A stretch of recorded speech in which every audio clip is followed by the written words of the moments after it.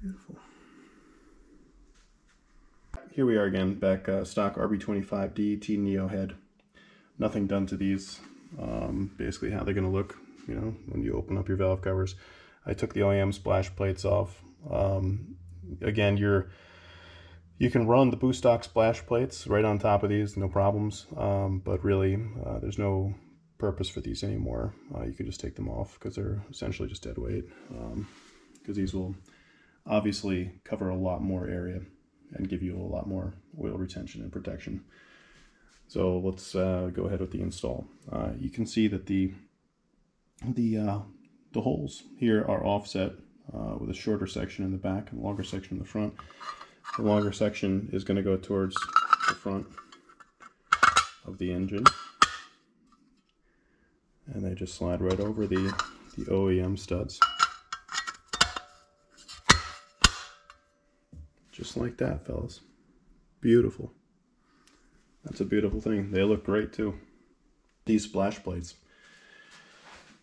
They keep oil in the head where it belongs, right? Because we don't want it going into the catch can because if it goes in the catch can, it's no longer in your engine. And if you're losing a catch can full of oil every time you're on a track day, I mean, that's just more and more opportunity for your oil level to get lower and lower.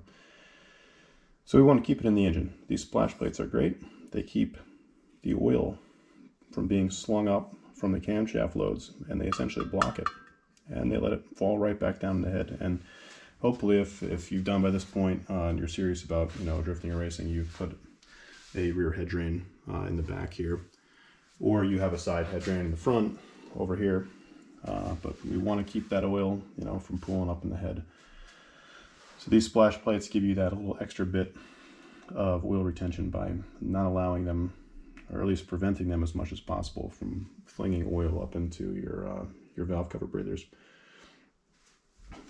And they look freaking great too, man. Look at those things.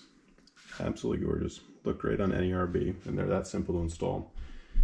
And I have some really super low profile valve covers here. I'm just gonna throw on just so you guys see that how awesome they fit, even with something like this. So the Ross Performance dry sump covers. And I mean, they're about as low profile as you can get. And they just slide right on. Beautiful. Beautiful.